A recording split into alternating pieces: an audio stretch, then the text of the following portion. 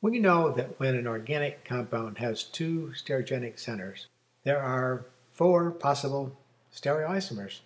This is just a matter of view, and let's take a look. We'll pick a compound that has two carbons attached to each other. Each has a CH3, then they have substituents on wedges and dashes. And let's pick hydrogen for the dashes, and bromine and fluorine for the wedges. We know that this is only one stereoisomer. We could write another by changing the stereochemistry at both centers. And I've changed the stereochemistry at both centers by switching the wedges and dashes, the atoms that are attached to the wedges and dashes.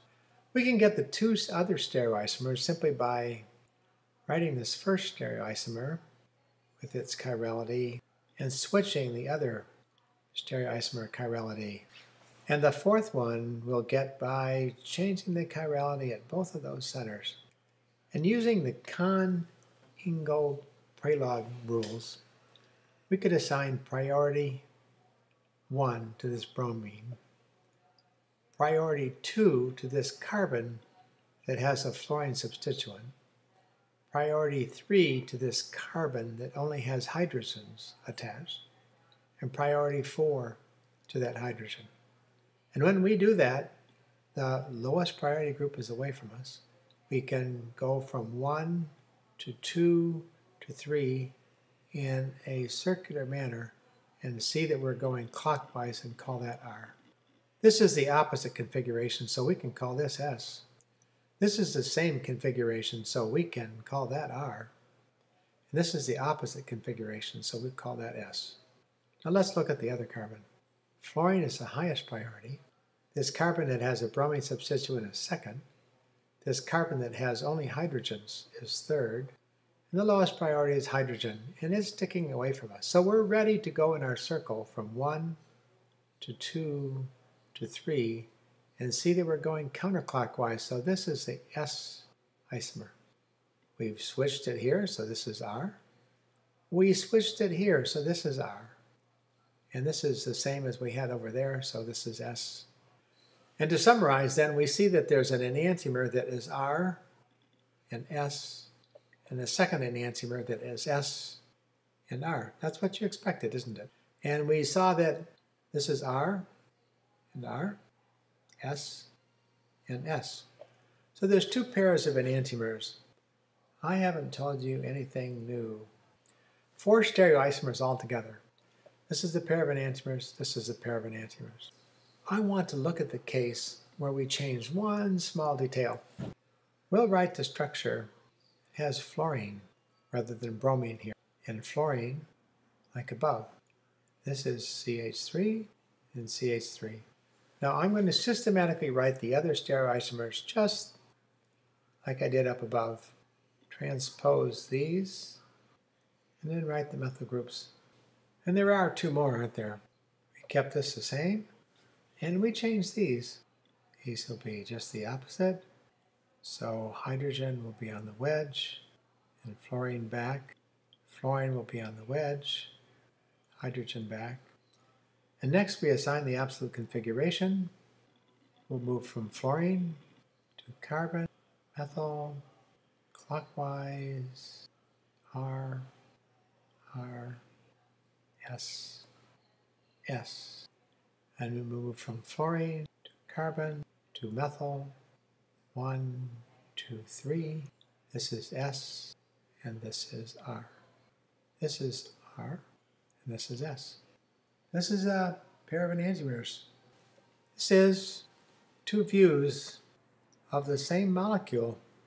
This has a carbon as R chirality that has fluorine, hydrogen, methyl attached. And this has a carbon with the same chirality, R, fluorine, hydrogen, methyl attached. The other carbon is S, and it has fluorine, methyl, and hydrogen attached.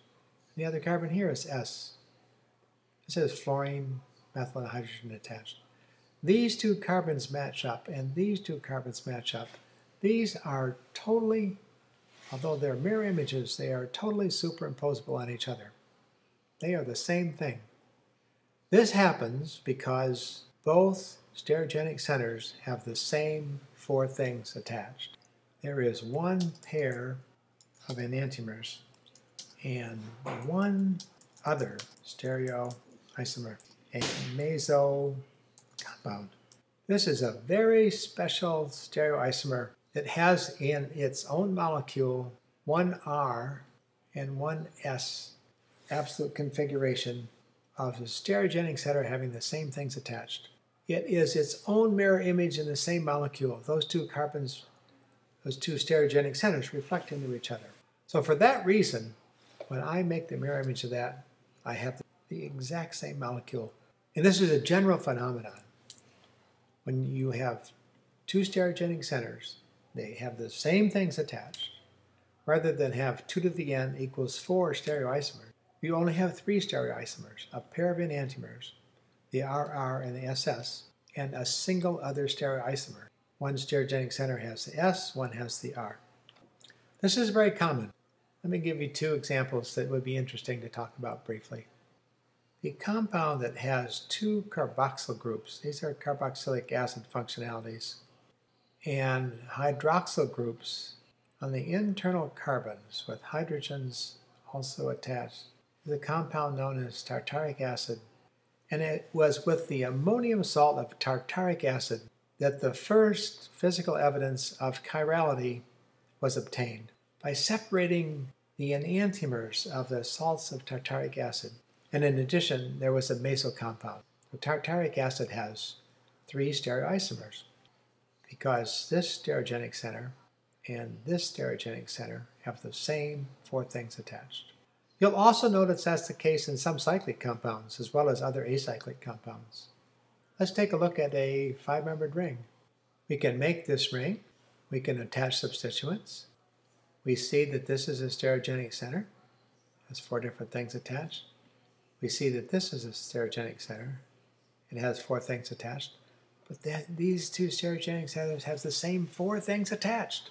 So this will have a pair of enantiomers, and a meso compound as the third stereoisomer.